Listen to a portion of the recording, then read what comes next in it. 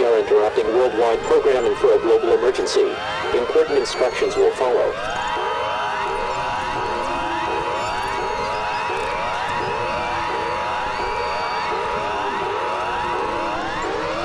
Global alert. Global alert to every TV the planet.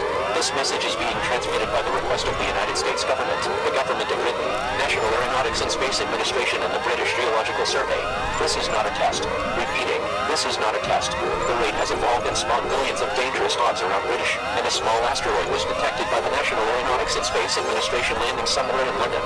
It is unknown where it is headed to. The Wade spaceship has dropped thousands of missiles landing everywhere in Gresham, and there's no way to stop these events.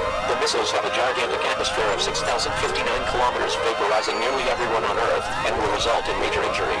A massive tsunami is to be likely from the atmospheric shockwave. Everyone seek to underground shelter right now. Batteries, food and water to survive in your shelter. Lock and barricade all doors and windows. Seal all cracks. Do not go outside. Turn off all lights and electronics. Turn on air conditioning and heating systems. And bring your family and friends in with you. Opposite instructions will lead you into strict danger. These whistles will be landing everywhere on Earth by the next three minutes. This is an emergency action notification. All broadcasting and cable systems shall transmit this emergency action notification message. During emergency, most stations will remain on air providing news and information on public assigned areas. This emergency alert system has been activated to keep you informed. This is your local American narrator, Loud. Please stand by for our final national anthem. We will update you very soon on the information about this dangerous situation.